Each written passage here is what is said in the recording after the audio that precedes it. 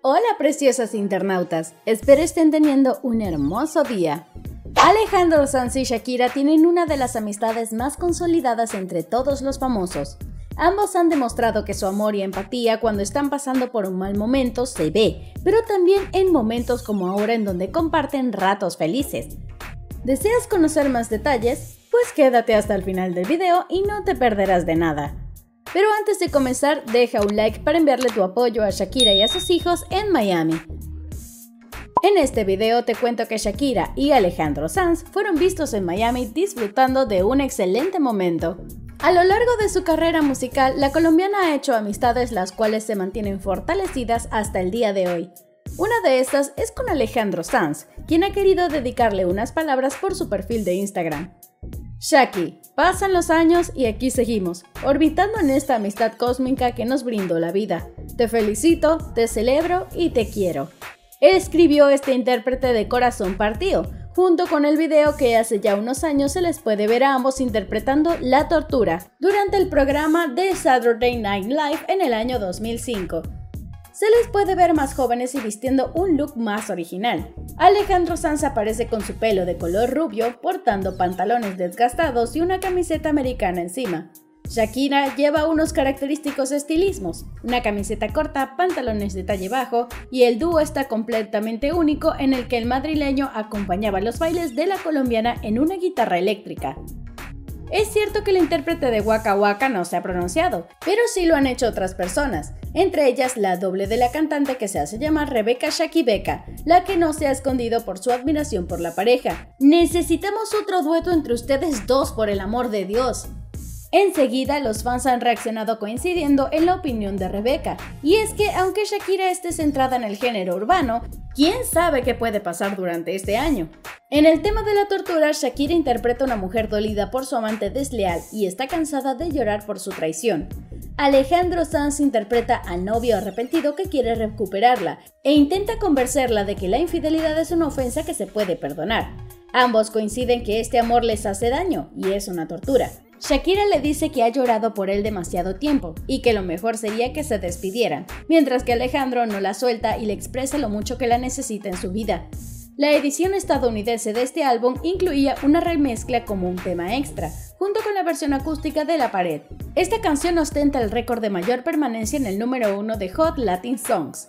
Bailando de Enrique Iglesias superó la canción de Shakira en octubre de 2014, cuando alcanzó la 26 semana en la cima. Fue nombrado el disco del año y canción del año en los Grammys Latinos en 2006.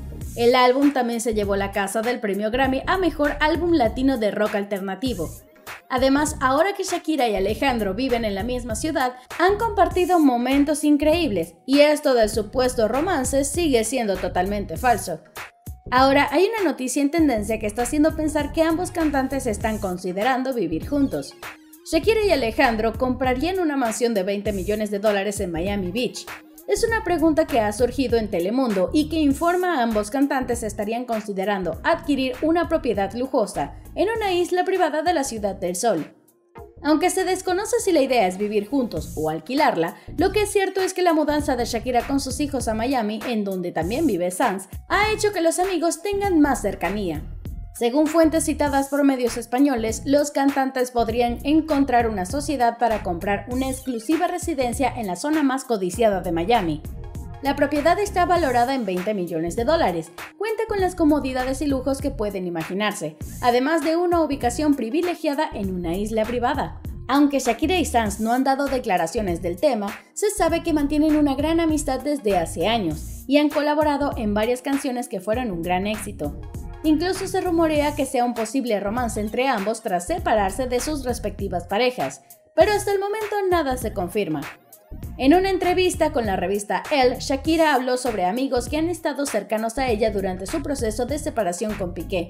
Queridos amigos que se han convertido en personas que creo que no solo se preocupan por mí como artista, sino como persona, como ser humano, dijo refiriéndose a personas como will.i.am, Chris Martin, Juan Luis Guerra y Alejandro Sanz. Presuntamente, este último ha demostrado su apoyo a Shakira tras la separación con el padre de sus hijos Milan y Sasha. En enero de 2023, el cantante español mandó un mensaje en Twitter. De lunes a viernes tienes mi amor, citando su canción La tortura con Shakira. además de felicitar a la colombiana en febrero cuando cumplió 46 años con un emotivo mensaje que resaltó la amistad que tienen entre los dos. La posibilidad de que ambos cantantes compren una mansión en Miami genera expectativa entre los fanáticos.